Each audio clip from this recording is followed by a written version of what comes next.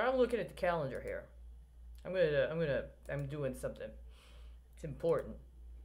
Okay, 2017, March of 2017, Friday, March 24th, 2017. I'm in the lobby of a alleged mental health provider in Houston, Texas.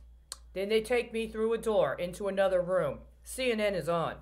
And they're discussing how right then the Republicans have called a meeting with the President of the United States to discuss a measure that is going on at the moment to cancel the Affordable Care Act.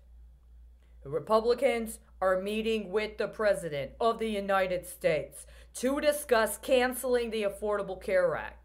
That there's already some process going on that could have potentially resulted in a congressional action supported by the president or a presidential action supported by congressional Republicans and senatorial Republicans. I think they said it was the congressional Republicans to cancel the Affordable Care Act. I'm in there for a short period of time. I'd been in the lobby for a couple of hours, going through a complete misrepresentation of what was legitimate process for uh, uh, admitting me, having at least by that time three different people presumably trying to treat me for some sort of mental situation and refusing to take information on how I'd been witness to child abuse and acts of fraud involving the people that said that I was required to go there to seek uh, mental health ops, uh, analysis.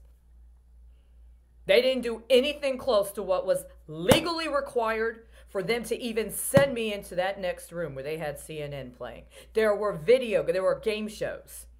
Game shows in the lobby before you got through that door. But once you got through that door, they had CNN. And it was all walled off, and there were video cameras. And right as the nurse went to give me my medication, it was announced the president has withdrawn his situation. They will not be making the vote at this time. And I spent the next 10 days being tortured electronically and bearing witness to the most egregious violations of anything that would be considered appropriate health care treatment. That's exactly when you invited me in. And the problem is, you have nothing close to hospitality, and you have nothing close to anything that would resemble a concept of how to regard a colleague. You understand? I have been in your party, in your business, and apparently at that level since March 24th of 2017 formally. So let's just get this straight. It's my fault. I haven't acknowledged it on this level. I haven't acknowledged it this forthrightly. My name is Charity Colleen Crouse. You apparently invited me in a very special manner into the politics of the Republican Party, as well as what was going on at the White House level on the afternoon of March 24, 2017. It's been over three years.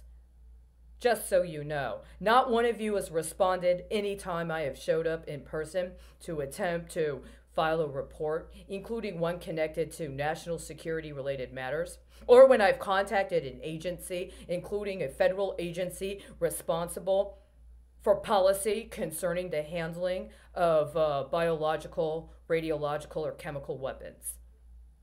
That's the level it's at, guys. You were the ones that brought me in. You're also the ones that have completely shirked anything close to your duty that responsibly handle the fact that you did what you did. So let's stop playing these games. I don't want to hear anymore about what the Democrats are doing in their little porno sessions in the basements anymore. Let's be direct and honest about this. Whatever accusations there might be about or involving them, I already know. I knew before you invited me in. So why are you pretending like this is something other than what it is?